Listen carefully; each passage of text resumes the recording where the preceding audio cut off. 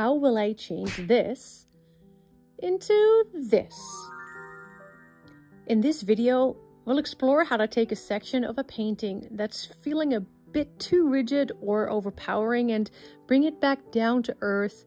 We're using acrylic paints, brushes, and some clever techniques. So by the end of this video, you'll have gained some knowledge on how to tame even the most unruly sections of your artwork and create a more harmonious, visually appealing piece.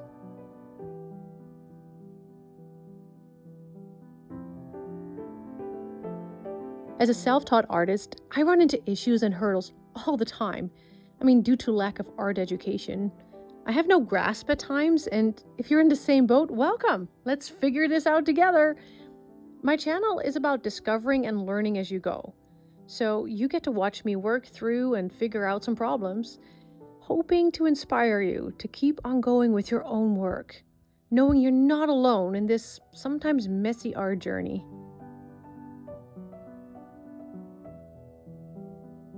Going into this painting session, I knew it initially was going to look ugly. There's always that stage in every painting or in every section of a painting if you choose to work in sections like I do. I really, really have to push myself to keep on going in this stage. But hmm, yeah, I must be honest, it's a struggle every single time. So rest assured, though, you are not alone in this ugly painting face situation. It's really just part of the process. There is absolutely no shame.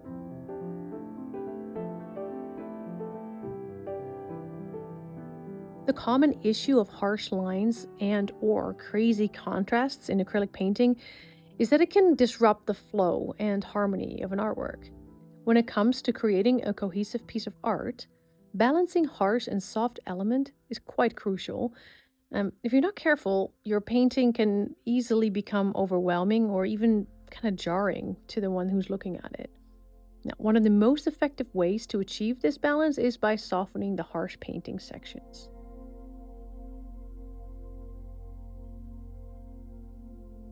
So what exactly do I mean by a harsh painting section? Well, simply put, it's an area of your painting that's drawing a little too much attention to itself, whether that's due to bold colors or sharp lines or even just a general sense of tension. You'll notice that by the end of this first part of my painting session, it doesn't even look like it's part of the dog at all. Now, these areas can be distracting and disrupt the flow of the rest of the painting, which is why it's so important to learn how to soften them. And I will show you how I did that a little further in this video.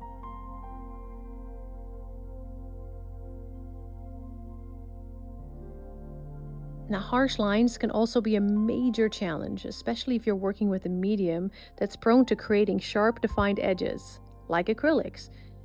Now, if you do the same thing I'm doing in this painting session, but with oils, your outcome will be completely different. So do take note of what medium you're using and know how it responds to what you do with it. But even with these challenges, there are always ways to soften those harsh lines and create a more cohesive piece.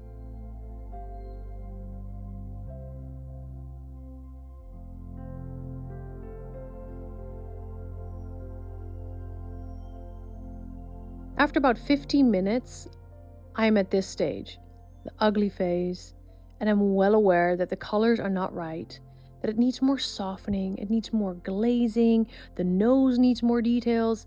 I had places to be, so I ended my painting session feeling really frustrated.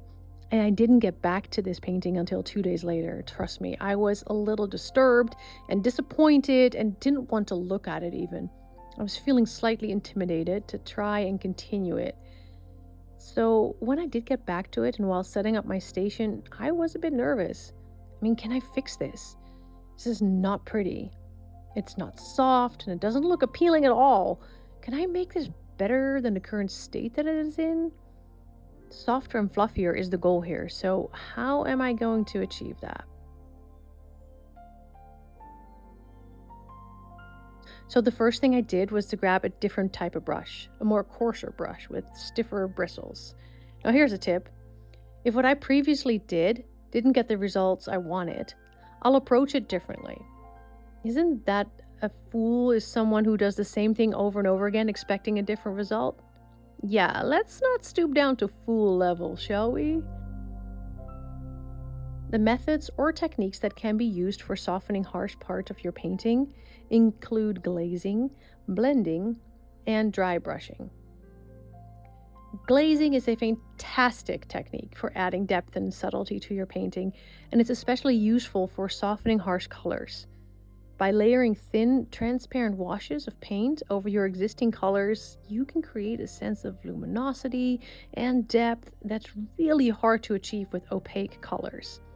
Now, I use it all the time for both shadows and more subtle highlights, as well as color adjusting, uh, sometimes bringing back some warmth, or sometimes cooler tones if that's what I'm going for. Now, I'm adding a glaze of light color, allowing what lies underneath to shine through.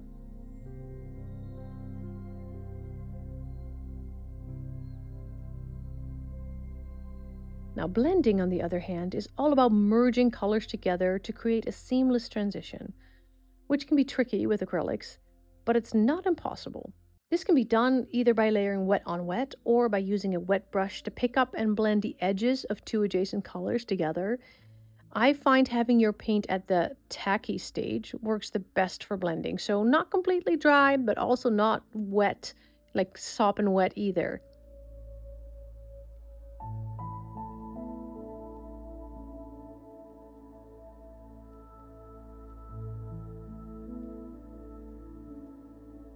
Whilst this part is drying, I work on nose details and used a mixture of burnt umber, Payne's Gray, Mars Black, and burnt sienna.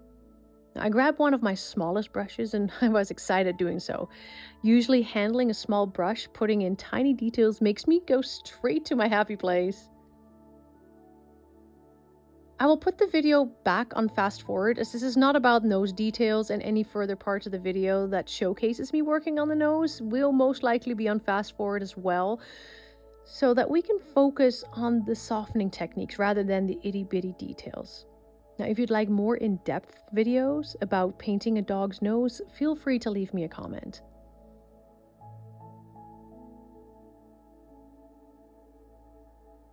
Now, as I was working on the nose, I decided to work on some color near the mouth as well, whilst the paint is still wet, which allows the paints to blend the parts together, giving a softer appearance, which makes me feel a lot, lot better.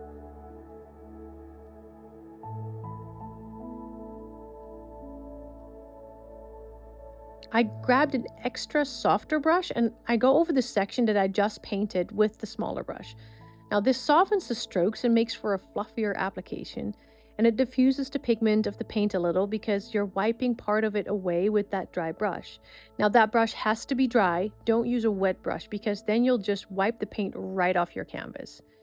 This can be achieved with your fingers as well, you see me do that many times, but you remember I'm trying not to be that fool doing the same thing over and over again.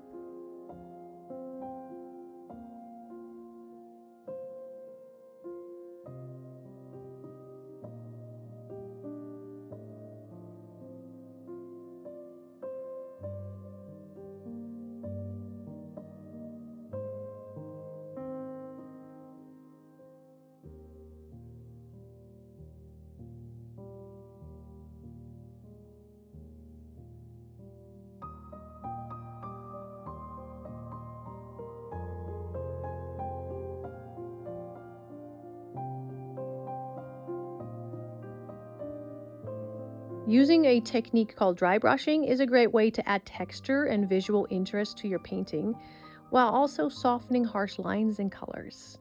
By dragging an almost dry brush across the canvas, you can create a subtle, hazy effect that's really effective at breaking up sharp lines. But mind you that this works a lot easier with oils versus acrylics.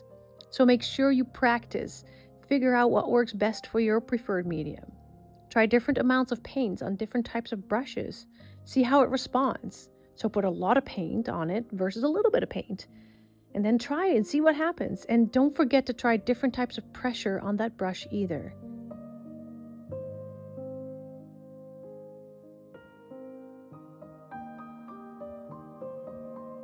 Don't expect these techniques to be mastered right off the bat. The key to mastering these techniques is practice, practice, and more practice It takes a little bit of experimentation to get the hang of glazing and blending and dry brushing, but trust me, the results are well worth the effort. And don't forget to have fun with it. It isn't an exam or something to be approached with strive. Enjoy your process, have fun with it.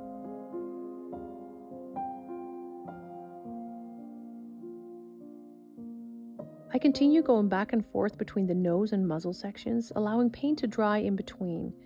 Thank goodness acrylic dries fast, so I don't have to wait too long before going back over a previously painted section. I used the same color on the different sections to create a bit more harmony, and I repeated this until I was pleased with the result.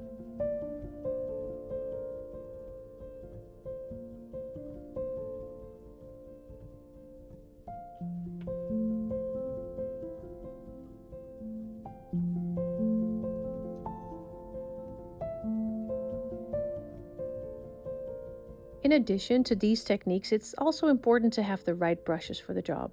You'll want to have a range of different brushes on hand, from soft, flexible ones for blending, like a filbert or mop brush or even a round brush, to stiffer ones for dry brushing and texture. Feel free to try brushes that aren't meant for your medium, though. You'll be amazed what you can do with them. Watercolor brushes are generally soft, so they can be used for blending, for example.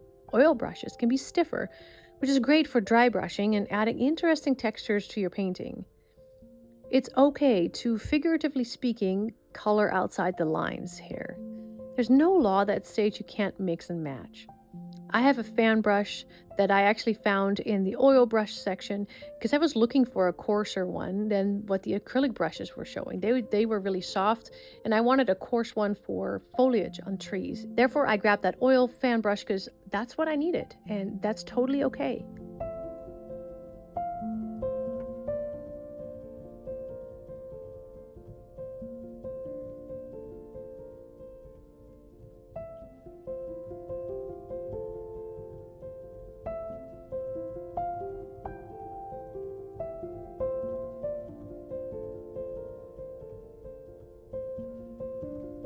As I mentioned before, I was expecting to go through the ugly phase. It doesn't mean I've messed up or made tons of mistakes. It means I laid down a foundation that I could work with because some of those colors still come through after the softening. So it wasn't a total waste of time. But I personally just have to learn to find peace in the chaos and to trust the process.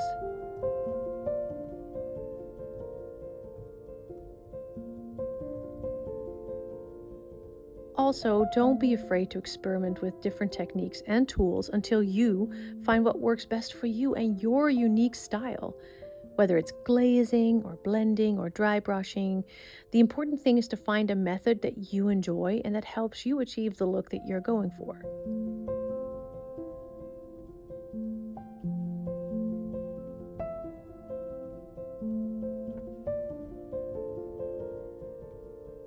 Now, remember, practice is key.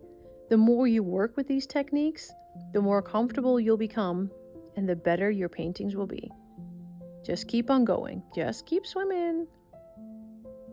Now I'm changing to a mop brush and a coarser brush. After about 40 minutes of softening around the mouth and the nose, as well as working on details on that nose, I just needed a little change as it got quite repetitive. So I decided to do another layer on the chest as I wasn't happy with how it looked. So I put on a bit of paint and go over it with that dry mop brush to soften it out. That same color will be applied around the nose and the mouth area as well, just where I feel that it needs more softening and or brightening. Now do be gentle with that mop brush, very light pressure seems to give me the results that I'm looking for.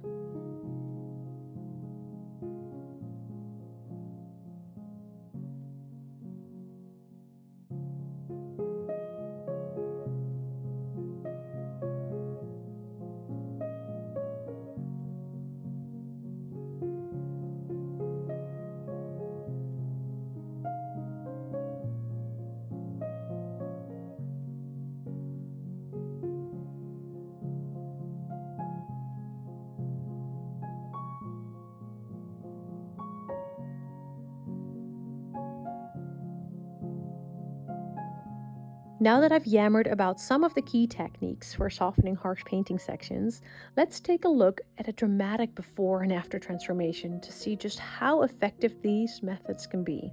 The difference is like night and day, right? The harsh lines and colors have been toned down, and the entire section feels much more cohesive and balanced. I mean, it actually looks now like it's part of the dog. So, I took about an hour or so to create an ugly nose and mouth, and about another hour to change that from harsh to soft and fluffy. If you have any questions or experiences you'd like to share, please don't hesitate to leave a comment below. And if you're new here, be sure to hit that subscribe button and the bell icon to turn on the notifications. And go check out my other videos with more painting tips so we can learn together. Stay happy, keep your peace, and God bless you. Bye bye.